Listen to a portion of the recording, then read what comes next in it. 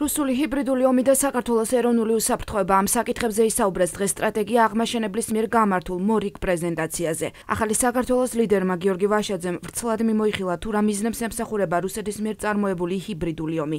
ეს არის ანტიდასავლური განწყობების გაღვივება, ევროინტეგრაციის პროცესის უარყოფით კონტექსტში წარმოჩენა, უსაფრთხოების არქიტექტურის ჩამოშლა, დემოკრატიული და სტაბილური იმიჯის შელახვა, რომ არ შემოვიდეს ინვესტიციები და არ განვითარდეს ეკონომიკა.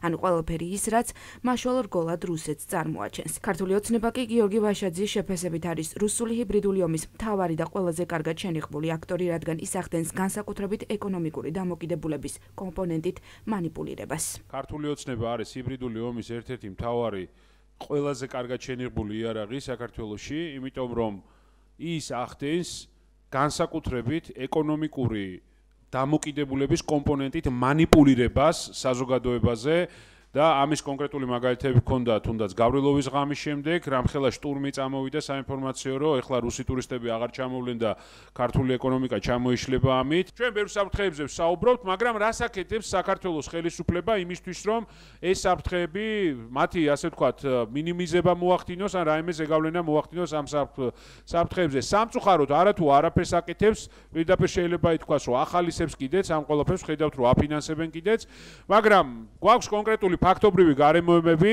რომ ეროვნული უსაფრთხოების კონცეფცია საქართველოში არ განახლებულა. ხელისუფლების ანტისახელმწიფოებრივი პროპაგანდა, იგივე ომთან დაკავშირებით, რუსეთთან ომთან დაკავშირებით, რაც პირდაპირ არის იმისი, ასე ვთქვათ, მიზანია, რომ დანერგოს ქვეყნისთვის საწინააღმდეგო აზრი ზოგადად მოსახლეობაში. სტრატეგია სამწუხაროდ ქართულოცნებას აქვს. იმიტომ რომ ფაქტებით რო ვილაპარაკოთ ყველნაირ ემოციებში წავსვლის გარეშე, ხო? ერთ-ერთი ალბათ იშვიათად დეკლარირებული რუსული სპეცსამსახურების წარმომადგენელი იყო ყოფილი უშრობის მინისტრი, რომის შესახებაც ბატონმა პუტინმა ხო ბატონ სააკაშვილს რომ ეს ადამიანი ყოფილიყო თავის ადგილას, ხო? ანუ გვახსოვს ეს ცნობილი. მისი მოქმედი მაშინდელი მოადგილე დღეს არის ბატონი ბიზნეს ერთ ბიზნეს ერთ-ერთი თავი იდეოლოგი, ხო? რომელსაც აბარია TV იმედი, რომელსაც აბარია ასე ვთქვათ, სხვა სხვა საკითხები, ლაშანაც უშუალოდ ესაუბარი, ხო? ანუ ეს სტრატეგია, ანუ ამას არ უნდა რაღაც შორს წასულა ძალიან რა, აი ფაქტებია ეს ყველაფერი. ანუ ეს სტრატეგია ქართულოცნებას გააჩნია. აა ზუსტად იმიტომ არ ხდება ამ დოკუმენტების განახლება და ეს რაღაცა რომ არ უნდათ რომ იქ რა უნდა დაწერონ ხო რუსეთი უნდა ლანцо ხო გასაგებია. ჩვენ გავს მაგალითი როგორ არ უნდა ებრძოლო რუსეთის პროპაგანდას და ეს მაგალითი სამწუხაროდ შექმნა უკრაინამ რომელმაც სამწუხაროდ კიდევ ძალიან ბევრი შეცდომა დაუშვა. უკრაინამ დაიწყო ბრძოლა რუსული პროპაგანდის წინააღმდეგ კონტრპროპაგანდის მეშვეობით. ანუ იმათ თქვილებს თავის თქვილები დაუპირისპირა და საბოლოო ჯამში აქეთანო ეფერი ვერ მე. ერთ-ერთი კარი გამოსავალად შეიძლება არსებობდეს აქ არის ის რომ შევხედოთ აი ამ პროპაგანდას და ტყუილებს ვებრძოლოთ იუმორით.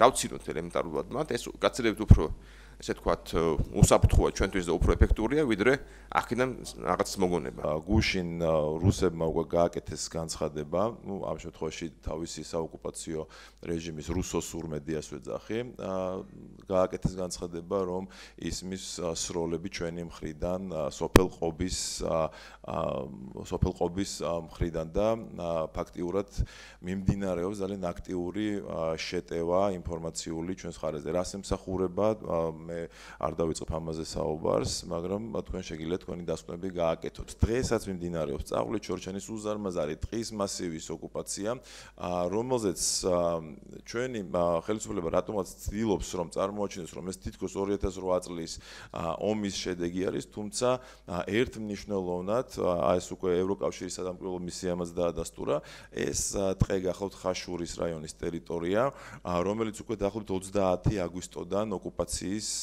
ქვეშ არის ყოველდღიურად.